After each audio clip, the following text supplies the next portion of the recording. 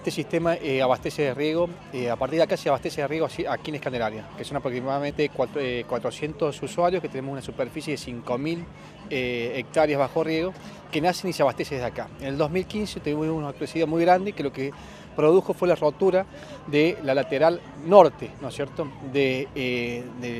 del muro, lo que evitaba que embalsara agua y que se pudiera conducir justamente a los distintos sectores no solamente se rompieron lo que eran los, eh, el muro, sino tuvimos roturas de caminos, de canales, de sifones, bueno, de todo el sistema de riego propiamente dicho. La provincia eh, justamente eh, a partir del año pasado lo que hace es licita la obra para la reconstrucción de todo el sistema de riego,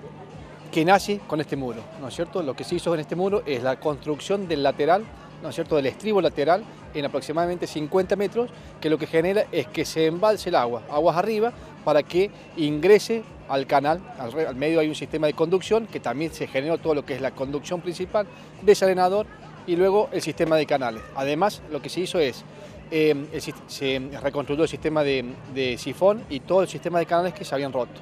No es el único eh, muro que tenemos, aguas abajo tenemos otro muro más que también estaba roto,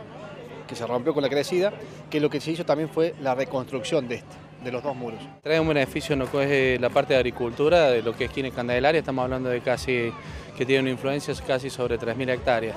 eh, lo cual después de, las crecidas obviamente eh,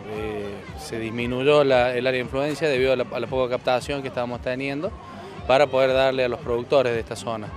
Aparte esta obra no solamente sirve para lo que es la parte agropecuaria, sino también es un nivelador antes del pueblo y eh, también es un hito turístico de lo que es la zona y, y áreas de influencia. ¿no? Pero ahora yo creo que la gente ya puede descansar tranquila teniendo su muro, no solamente para la parte turística, sino que también estamos haciendo un manejo aguas arriba para que esto no vuelva a suceder. Hay gente que cree que los diques tienen que estar llenos a, como quien diría, al coronamiento o al tope, eh, pero en realidad los diques hay que manejarlos según la época estival, o sea, ya en esta época se empiezan a cerrar para poder llegar al, invierno, al verano, perdón, y poder brindarles el riego a los, a los productores o tener el agua almacenada para darle a distintos pueblos también.